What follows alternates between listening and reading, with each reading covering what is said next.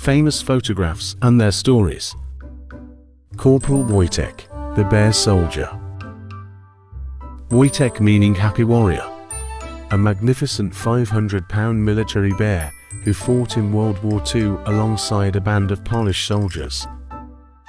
Wojtek copied the other soldiers, drinking beer, smoking and even marching alongside them on his hind legs because he saw them do so.